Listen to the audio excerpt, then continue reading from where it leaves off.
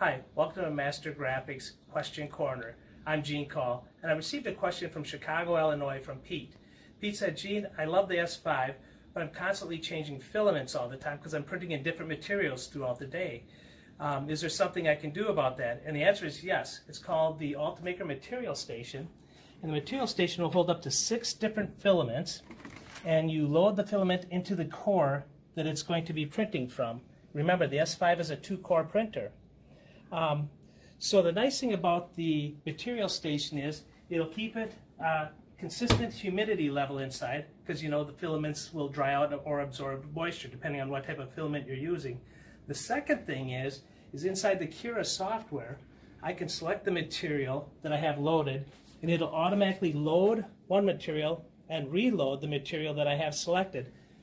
Meaning I don't have to get up out of my chair, come over and change a filament, reload it in the tubes. It's all automatic now.